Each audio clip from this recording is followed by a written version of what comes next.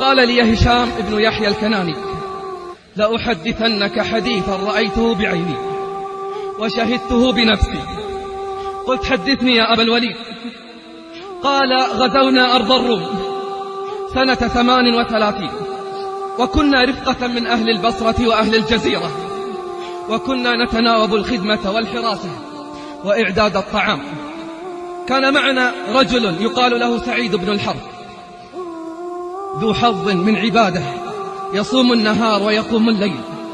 وكنا نحرص على تخفيف النوبة عليه لطول قيامه. وكثرة صيامه. فكان يأبى إلا بالقيام بكل المهمات.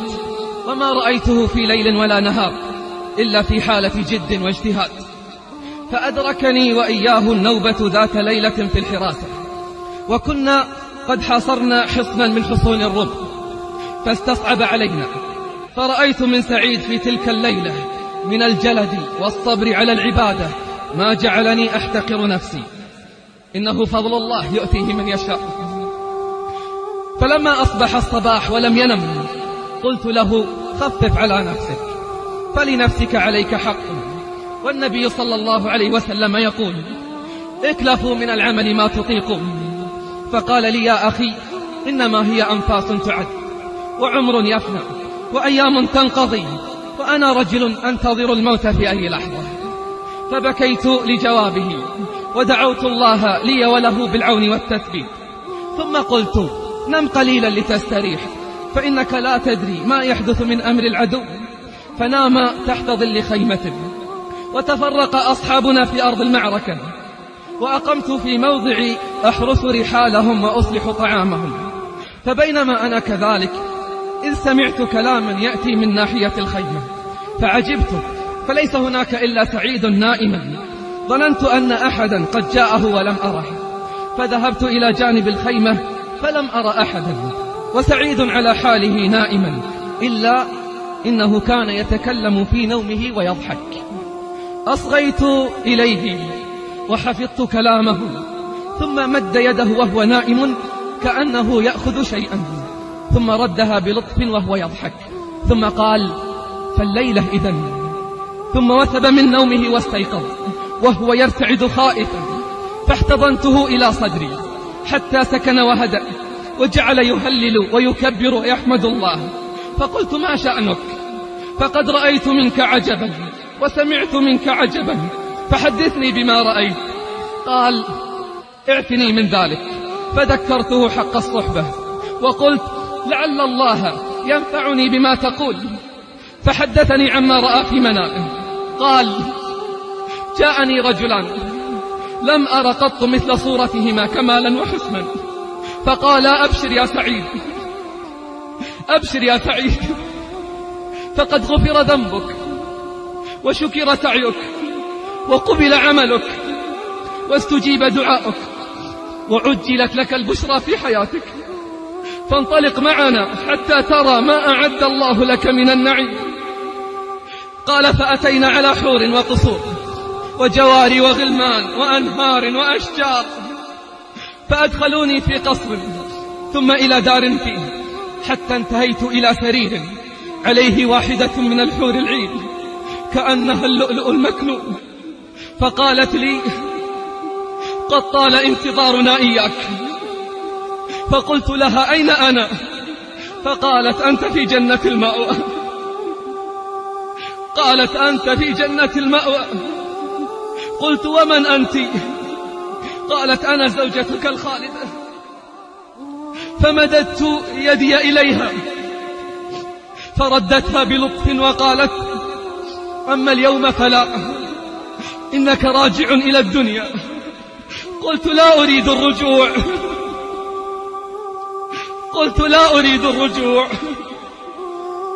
فقالت لا بد من ذلك. وستقيم هناك يعني في الدنيا ثلاثا.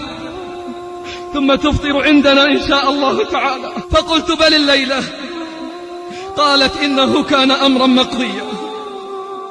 ثم قامت من مجلسها. فوثبت لقيامها. فإذا أنا قد استيقظت.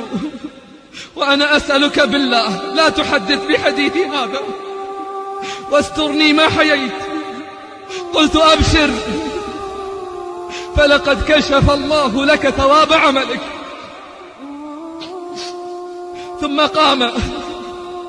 فتطهر. واغتسل ومس طيبا.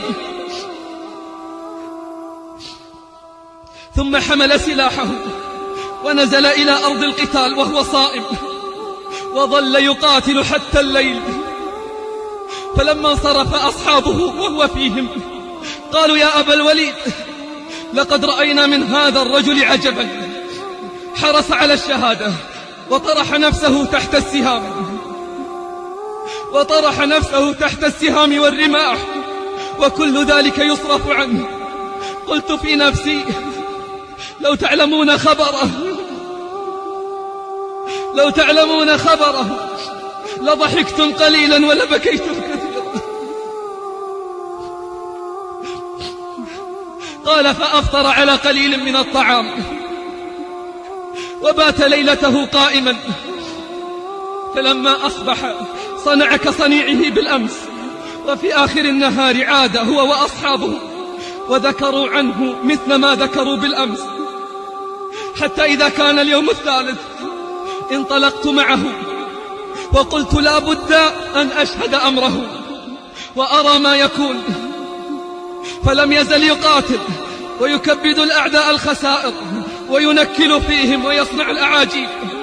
وهو يبحث عن القتل والموت مضانه وأنا أراه وأرعاه بعيني ولا أستطيع الدنو منه.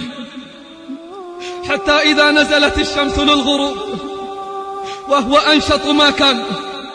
فإذا برجل من أعلى الحصن قد تعمده بسهم فوقع في نحره فخر صريعا وأنا أنظر إليه. فصحت بالناس فحملوه وبه رمق من حياة وجاءوا به يحملونه. فلما رأيته قلت له هنيئا لك ما تفطر عليه الليلة.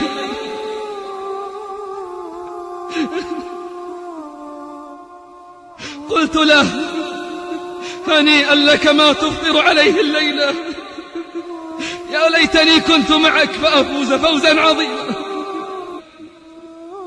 فعض شفته السفلى وأومأ إلي ببصره وهو يضحك. وقال اكتم أمري. وقال اكتم أمري. والملتقى الجنة. ثم قال الحمد لله الذي صدقنا وعده. فوالله ما تكلم بشيء غيرها ثم فاضت روحه وآيات الله تنادي. ولا تحسبن الذين قتلوا في سبيل الله أمواتا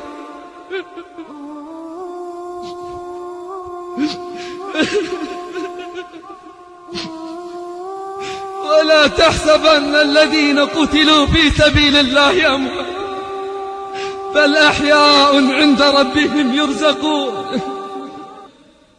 فرحين بما آتاهم الله من فضل. ويستبشرون بالذين لم يلحقوا بهم من خلفهم.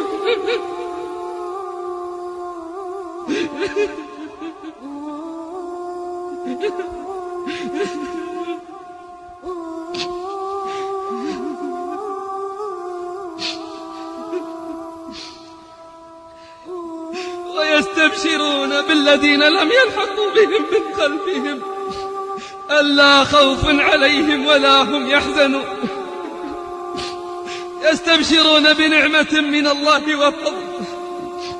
وأن الله لا يضيع أجر المحسنين.